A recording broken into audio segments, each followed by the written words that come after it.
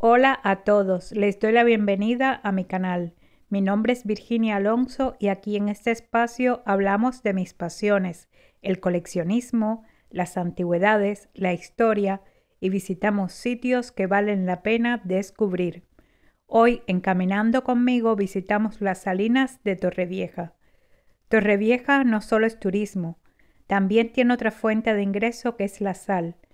El aprovechamiento de la sal en la laguna de la Mata data de la época romana, aunque no se tiene ninguna fuente escrita hasta el siglo XIII.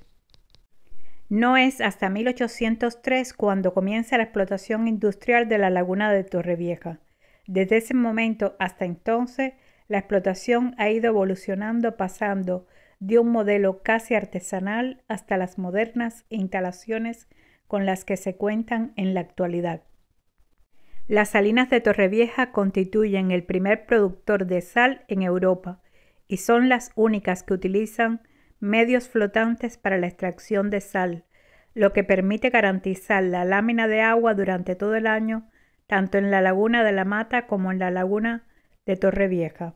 Destaca su producción de más de 600.000 toneladas de sal anuales, considerándose la mayor de Europa y única en el mundo con su sistema de extracción.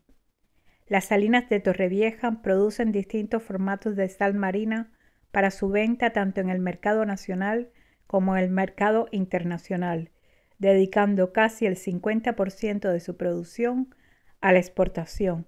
La carga y expedición es por vía terrestre o marítima.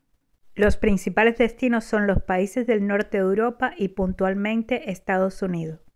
Espero les haya resultado interesante este vídeo. Si es así, pónganme un like.